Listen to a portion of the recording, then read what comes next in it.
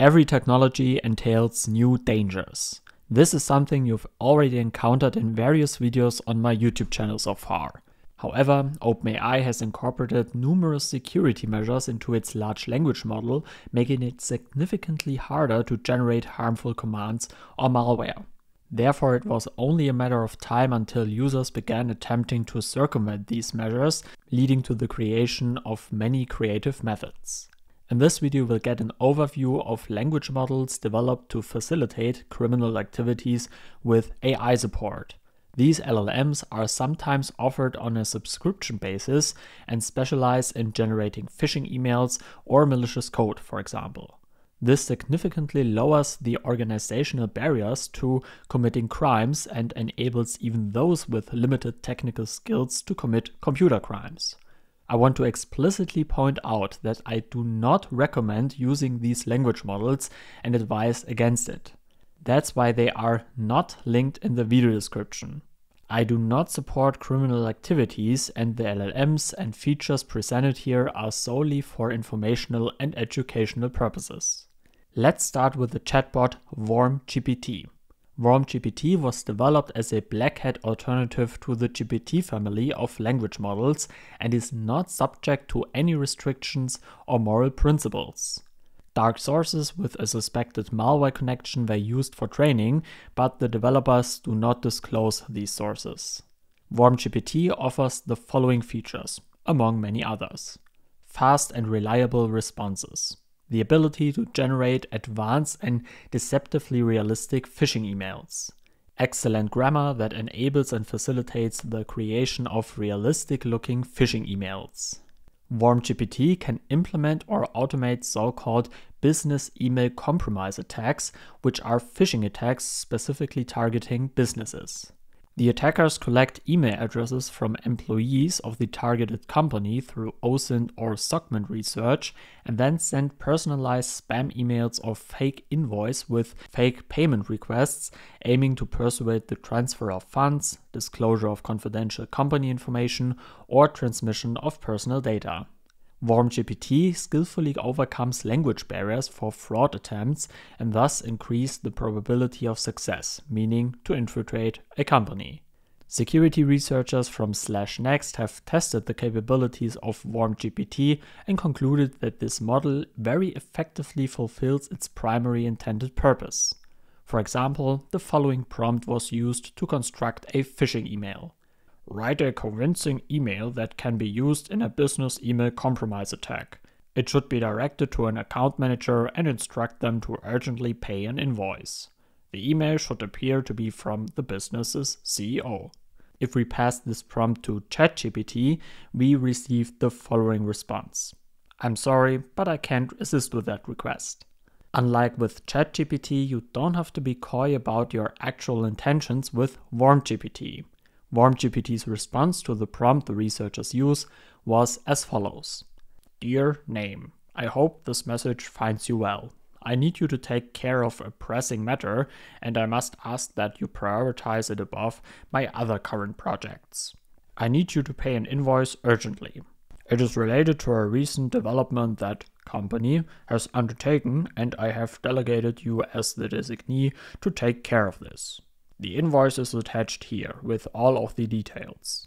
The recipient of the payment is recipient name and the total amount due is amount due. I understand that this might be short notice, but this payment is incredibly important and needs to be done over the next 24 hours. Please do your best to make this happen as quickly as possible and reach out to me if you have any questions. Thank you for your hard work. Name, CEO, company. If you analyze this email closely, you can recognize numerous hints that suggest phishing, such as the urgent situation, but this payment is incredibly important and needs to be done over the next 24 hours, or the reference to an attachment that one should download. The invoice is attached here with all of the details.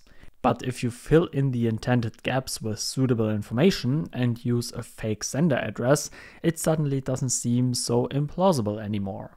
Moreover, due to the low effort required from the attacker, this approach can be scaled very well, and the result produced by WormGPT is far better than what many other phishing emails would suggest. A hacker named AMLO has been promoting a harmful generative AI model called EvilGPT in various forums intended to replace WormGPT and described by the developer as ChatGPT's enemy. The features are similar to its predecessor. Like WormGPT, this tool was developed entirely in Python and can be purchased for just $10. This is a fraction of the cost compared to the 500 to $5,000 asked for WormGPT. A presumed developer of WormGPT, a Portuguese named Rafael Morais, says that WormGPT is supposed to have a positive impact on the security community and not a destructive one. After all, WormGPT can also be used to configure firewalls or identify security issues in code. As you already know, any technology can be used for both good and evil, but some tools make it easier to use them for criminal purposes than others. Looking at the name of the next tool, the orientation is somewhat clearer. Security researchers from the NetEnrich threat research team have discovered an AI chatbot named FraudGPT offered in the dark web and on Telegram. With FraudGPT, it is possible to generate believable phishing emails or smishing texts, which are sent via SMS and supposedly come from banks. The list of features of FraudGPT is quite long. Here's just a small excerpt. Development of phishing websites, so not just the phishing emails themselves, but also websites that can capture user data. Development of undetectable malware. Development of hacking tools. Development of malware. Detection of leaks and vulnerabilities. Such concentrated fraud power naturally has its price. The use is based on a subscription model priced as follows. One month costs $200. Three months cost $450. Six months cost $1,000. And 12 months cost $1,700. So FraudGPT counts among the more expensive of its kind, but it is said to already have over 3,000 customers. Two more AI models that were developed specifically for criminal activities are XXXGPT and WolfGPT. According to the developers, XXXGPT is backed by a team of five individuals. The feature list includes the following points.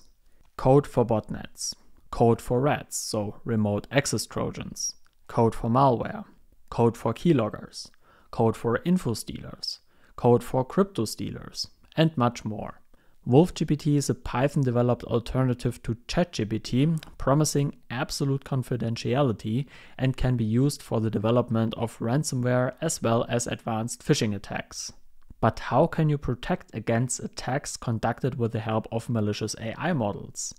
Once again, the answer is training, training, and more training. Employees must be educated about the dangers posed by such AI supported attacks. In addition, AI tools themselves can be used to detect such attacks. There are many tools that can be used to recognize AI generated texts, which can help identifying phishing emails generated by WormGPT or EvilGPT.